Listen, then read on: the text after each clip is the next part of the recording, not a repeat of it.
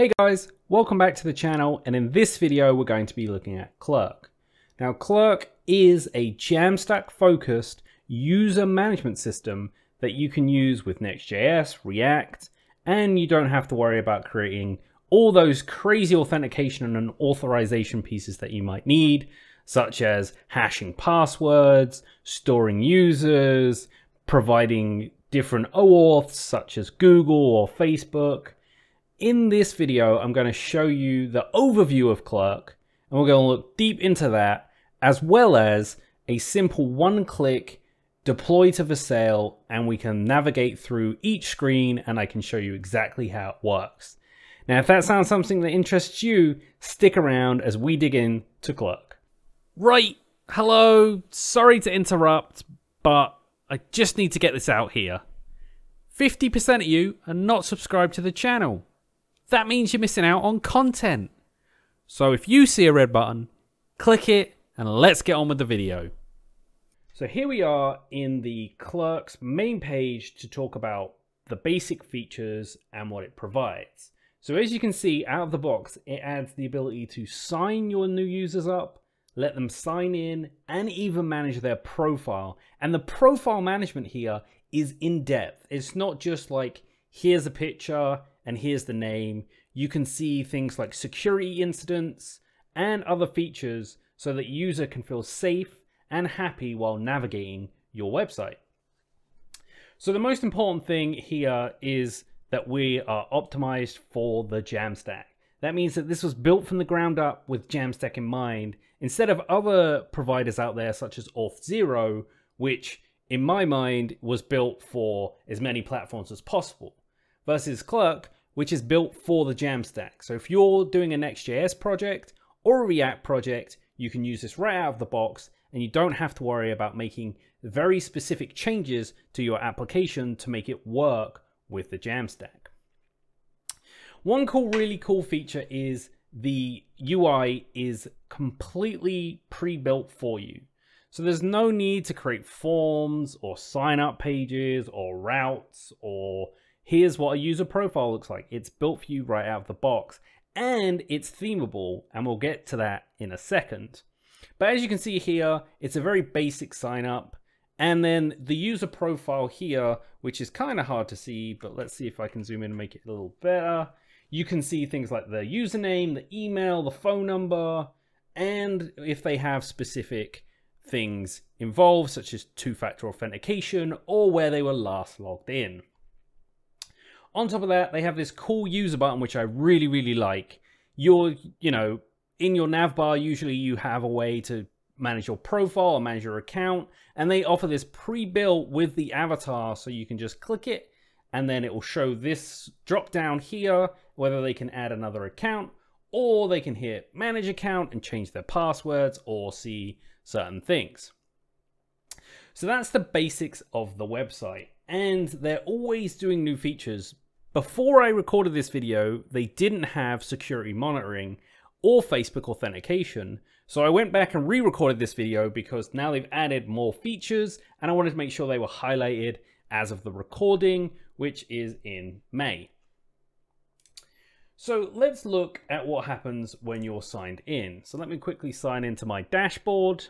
Okay, so I have two different applications here one called YouTube Test App, and then one called the Clerk One Click. Now, the Clerk One Click is actually the one click deployment that they offer through Vercel, which we're going to get to at the end of this video, and I'm going to show you how that kind of works. And this one was my test application for self-mounting components, which is a video coming soon. And if you're into this and you really like Clerk, make sure you subscribe because we're going to be taking that in the future. So let's look at my YouTube test app. I have a couple of different deployments here and a couple of different settings.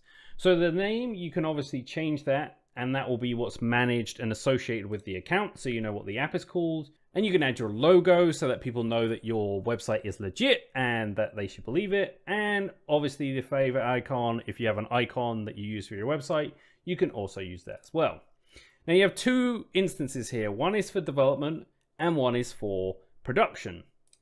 So let's go into my development one here and you'll be able to see some things here such as the front end API, the backend API, the sign up and the sign in. And if I go to these, for example, this sign up one here, you'll see that like it's fully deployed already and here is the URL and someone can sign up for my site and they can also use Google out of the box and it tells them the application and then if they click the sign in it will redirect them to the sign in page as well. So on top of that here are a couple of different users and soon they're going to uh, give you the option to search through your users. Bear in mind this is pretty young in its development, but they've added so many features that it's definitely worth talking about. You can view a profile and see exactly what they have. Here is a photo from a Bruins game. Here is my email, first name, last name, and then any metadata that you might want. In the integrations right now, they have Hasura, which is GraphQL, and it's super great. So if you're using this already, it's it can be integrated immediately with this.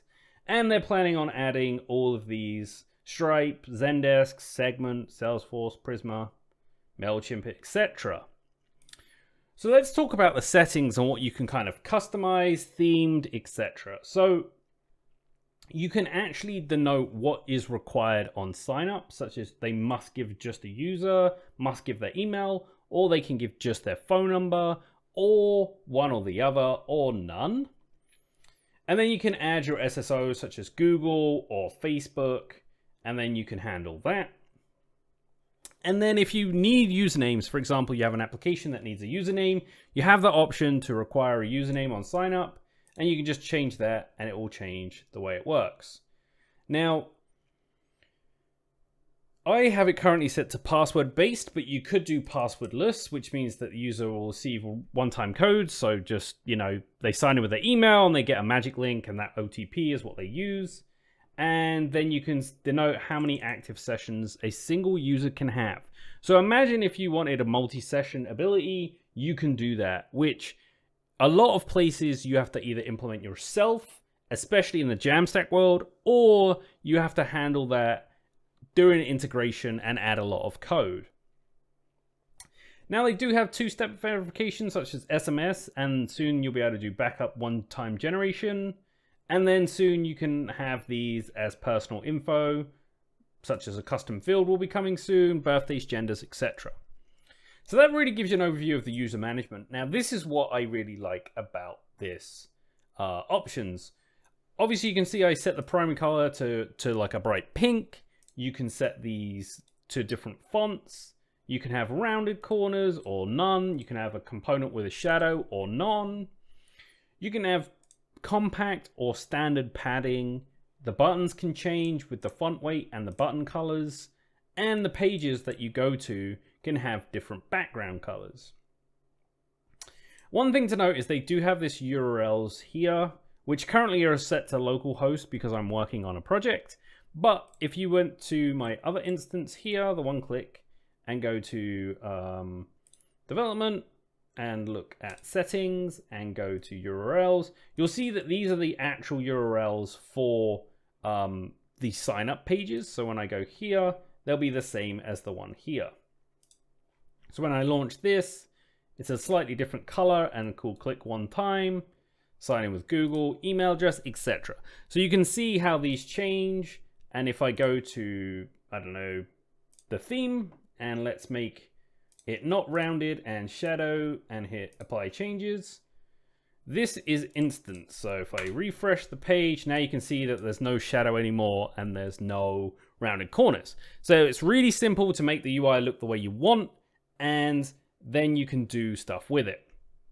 So now I've really just talked about this as, as a one piece. Let me show you what the one-click Vercel integration looks like, which if you're working in the Jamstack, is super nice to be able to spin up something immediately with all the environmentals, everything set up so that you can test it out. So I'll meet you back and we can test that out. So here we are in the create application at the beginning of Clerk. If you click Create Application, one option is to use the Quick Start with Next.js and Vercel. So if you click this Deploy button, it will redirect you back to here, and it will ask you to give it a project name. So let's call this Clerk one click example. We hit continue and it's going to ask you to install Clerk as an option. So just go ahead and click that and it will say continue. And then obviously you give it a name and then maybe you give it a different brand color. So my brand color for this is black. Hit create application. And this window will close automatically and Vercel will allow you to continue. Um, and we'll just put this here.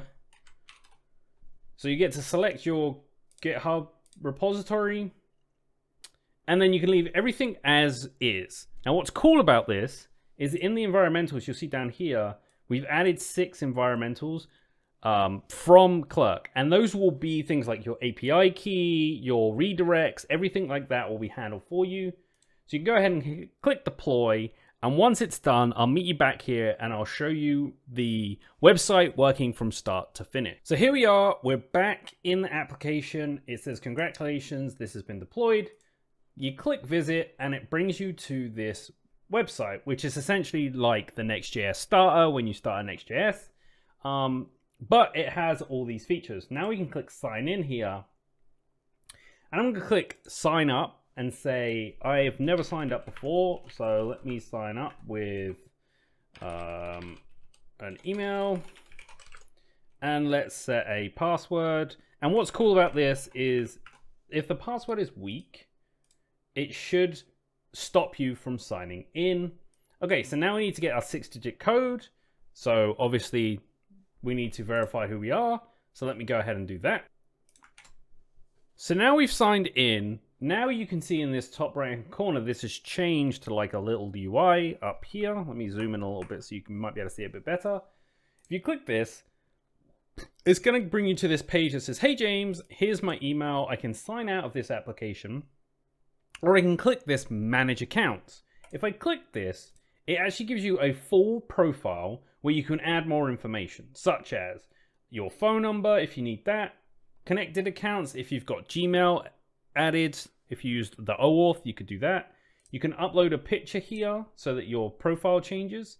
You can change your information, but more importantly is this security tab. So currently I have two-step authentication turned off, and the cool thing is you can see where the last um, device was logged in and you can see that this is this device that I'm currently on and then it gives you a bunch of details such as the IP address and the name of the city that I'm in and the time. And then if you go back here and click sign out, you'll get rewritten back. You can click sign in and this time I'm just going to do sign in with Google. So if I click this, it's going to ask me which account I want to use. So let's go ahead and use this one. And now, if you go to your manage account, what you'll see is that this is now connected this account to this connected account. And I have a password here. Everything stayed the same, but it just merged two things together. So now we have these one social accounts. So now if I go back to Clerk and take a look at the project itself, and we sign back in, and we'll click on this one, and say, let me look at development and look at the users. Oh, no, it's staging because we are in Vercel. You'll see the user ID. You can view the profile yourself and see, okay, here's his primary email. He has no metadata. And for security, we don't have anything, but this will be coming soon, so you'll be able to see similar screens as what the user saw.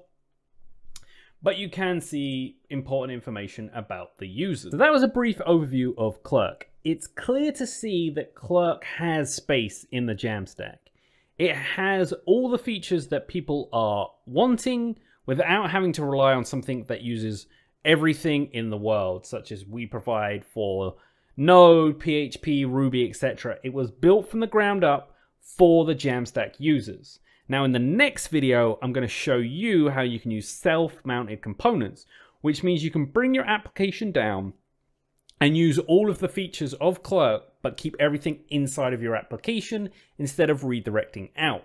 I'll also show you code on how to set up Clerk and use it in general. So that'll be the crash course. So if you like that, make sure you're subscribed. Comment down below if you want to see more about Clerk, and I'll see you next time.